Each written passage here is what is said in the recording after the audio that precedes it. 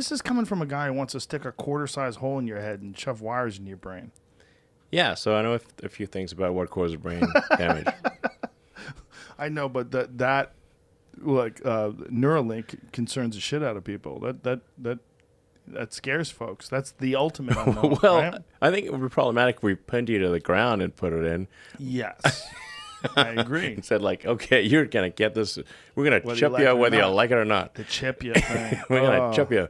Um, That's the other thing that people are scared of, right? now we're, it's, you will have to sign a million disclosures, Yeah. and it, it, this is not going to be something that where where it just suddenly pounces on you like ah everyone getting chipped. No, Right. it's it's it's a very slow process of okay, let's first try to help people who have serious brain injuries, like like if somebody got like a you know bro- Mm-hmm. a spinal cord injury or something like that. Like that's one of the first things we're looking at at doing is like somebody may be a quadriplegic, tetraplegic. Um, how do how do we give them uh, like an implant that allows them to use their computer or their phone, um, and uh, and have it be wireless and uh, you know like they look totally normal. You wouldn't even know that they had a chip in their head. Um, and uh, they can just charge it inductively, like you charge like a Fitbit or something like that, or Apple Watch or something.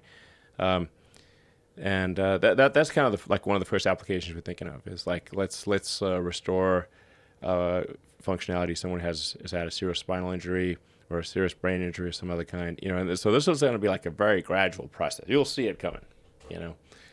But I was playing Cyberpunk, the game, and I'm like, eh, geez, eh, eh.